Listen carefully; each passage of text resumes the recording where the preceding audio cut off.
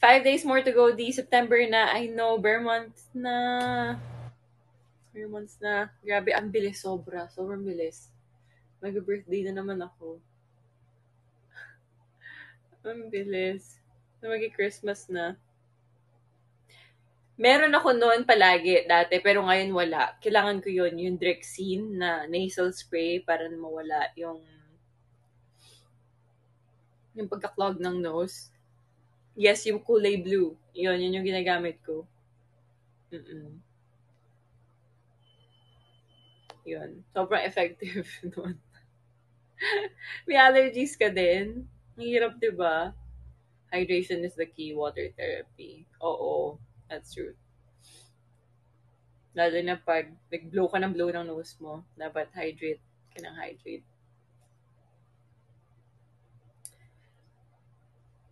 Oo, pero namamaga-eyes ko malala talaga. Ako din, lalo na pagka nakainom ako ng ibuprofen or mefenamic acid, grabe yung allergies ko. Kamukha ko si Stitch. Sa Instagram na lang po, Leslie, pasend sa Instagram, pa-DM na lang. Kumukha ko si Stitch, oo. Papakita ko sana yung picture eh, kaso nasa phone ko yung picture. Nagamit ko yung phone ko ngayon. Kamukha ko talaga si Stitch. Hindi cute. Hello, Darly! Dapat lagi ka meron nun kasi yung symptoms ng Delta variant ngayon is sneezing. What? Talaga? Hindi man ako nagsisneeze.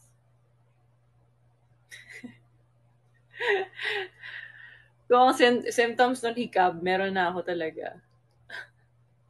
Team allergies. Woo! Ang sad, no? Pag inubo ka sa labas, ma-judge ka pati pag sneeze. Nakatakot, no? Ingat po kayong lahat. Tapos, airborne na daw siya ngayon, no? Yung Delta, vi- yung Delta variant. No? Airborne na siya. Kaya, doble ingat. Double your masks. Face shield. Kailangan ba ang face shield? Hindi ko sure. Pero for more protection, go. Take your vitamins. Huwag na lumabas if di kailangan. Sobrang nakatakot lumabas ngayon.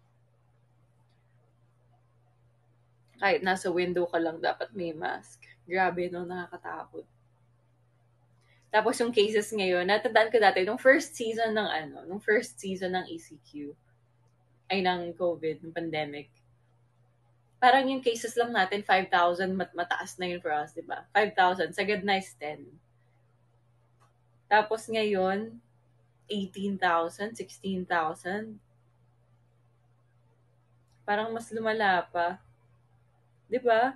Kasi dati ano lang, 5, 5,000, natatandaan ko, parang malak, mataas na yun sa atin. Takot na takot na ako nun. 5,000, grabe, 5,000 people every day. Tapos, tumaas ng 10, sobrang nakatakot. Tapos ngayon, 18,000. Ano yun? Thank you, Leslie. Tingnan ko yung picture later. I already got my Pfizer booster. Those are there to be sure my family. That's good. It's sad kasi here in the Philippines, uh, the doctors, they don't recommend um, doing boosters.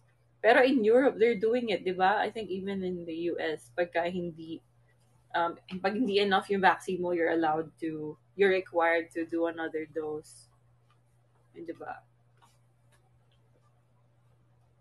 Dito, wala. Hindi ako, hindi na ako humihikab ngayon. Nag-stop na ako. Sinovac need din daw booster. I know, oo nga po eh. Sinovac, kaso parang ayaw ata nila dito. Hinuhuli daw pag nagka-booster dito.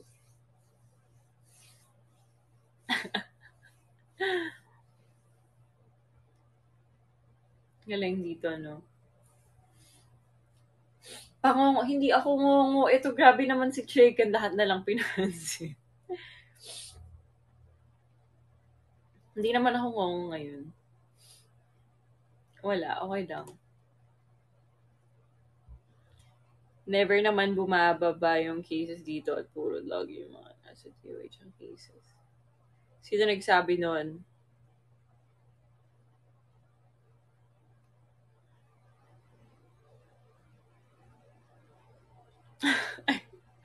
Ayun yung hikam. Sorry na. Ang hirap na may allergies. Sino ba yun? Sino ba yun? Hindi ba si Chicken? Sorry, akala ko si Chicken. CJ. Ah, si CJ. Catherine. Si Catherine, Joy. I miss you, CJ.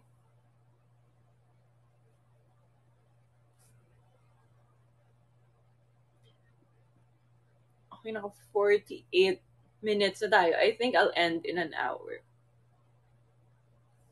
48. So, ilang minutes na lang para maging 1 hour? 18? Ay, ako magaling sa 12! Bakit naging 12?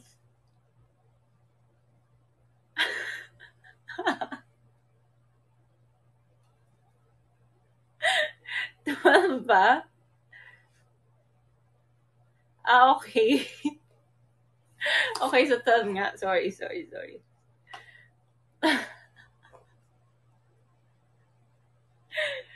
sorry po. 12. Okay. Mali ako ng review. Okay, 12 minutes. 12 minutes left. Gutom ka na. Hindi ako gutom. Feeling ko groggy ako sa allergies. Groggy ako sa allergies. Yung eyes ko. Sorry na. I just wanted to say hi. Drop by and say hi. See if you're still here. Thank you, Lee Christina. Kayo kayong magkakasakit. Hirap magkasakit ngayon. Sobrang puno lahat ng hospitals. Meron ako kilala, dalawang anak niya, nagka-COVID. Tapos kailangan pandalin sa Antipolo kasi lahat ng hospitals dito sa Manila sobrang punong-puno. Punong-puno lahat ng hospitals. Tapos even there in Antipolo, kinailangan pa niyang humanap ng uh, ng connection para makapasok yung dalawang anak niya sa hospital. Nakatakot. Kaya ingatan niyo mga sarili niyo, take your vitamins, please lang. Do not go out if not necessary. Protect your family, protect yourselves. 'Di ba? Sobrang sad. Sana maging okay na to, no? Sana maging okay na soon. I know it's not gonna be anytime soon, pero sana maging okay one day.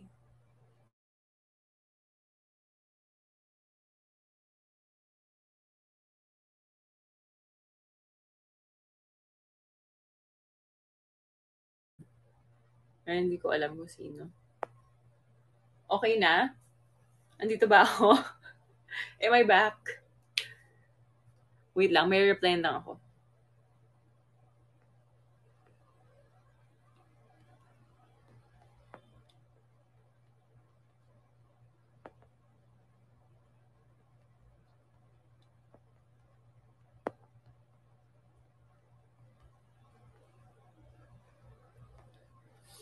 Hello! Hello, okay na. I'm back. May nireplyan lang ako. May matawag kasi. I'm back.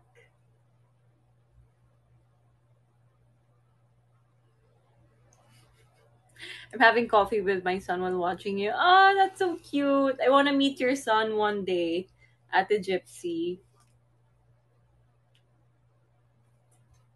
Gusto ko rin ng coffee. Gusto ko rin ng coffee para magising kaso hindi man ako makakatulog tonight.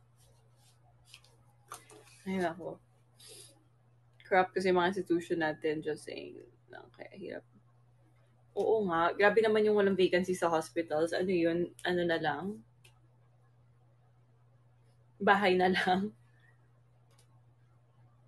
Kaya dumadami yung cases eh. Kasi yung mga tao nag-stay sa bahay. Kahit yung mga nag-positive na, wala silang mapuntahan sa bahay lang. So, pati yung family, nagkakahawan. Di ba? Thank you, Lee Christina. Thank you. Pag uwi ni Sis Gypsy, punta kami sa inyo, Miss Tia. Of course. Thank you. Hi, Ate Wogi! O, Ate Eileen, andyan yung kabiyak mo. andyan ang iyong kabiyak. You look cool daw and beautiful. Ah, thank you! Ate Gypsy. Tell him I said thank you. Sure ako siya din. Cool and handsome. thank you, Sir Teresa. Ate Happy. Dinala sa provincial hospital yung sister ko. Sabi niya yung mga tao doon nasa floor na lang kahit naka-dextrose pa. My God, kawawa yung mga tao. Nasa floor na lang.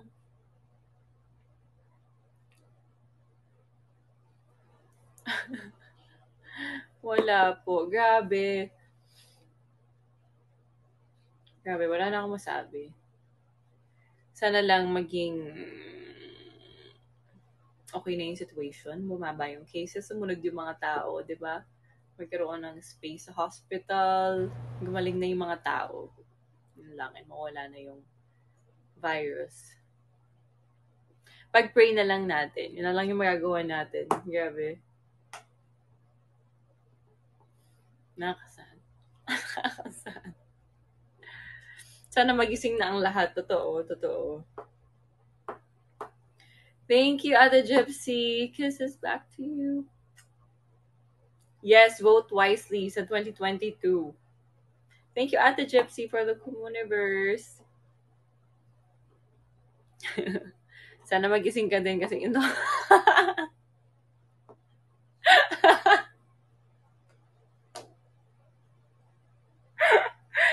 Grabe ka naman.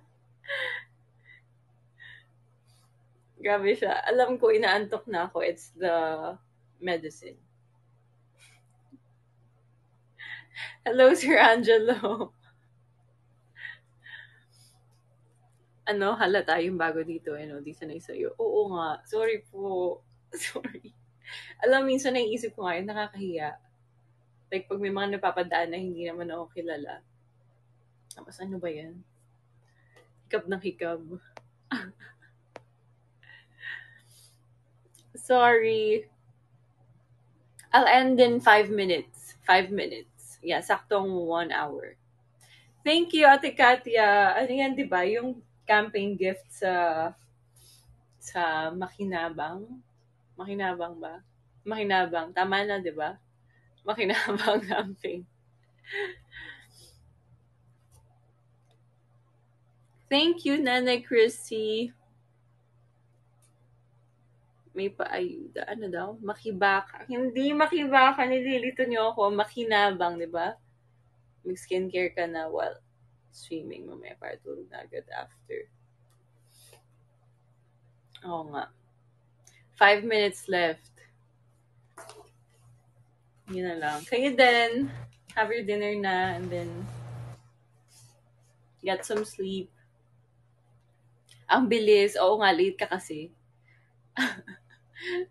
You're just being yourself. Ah, ang cute kaya.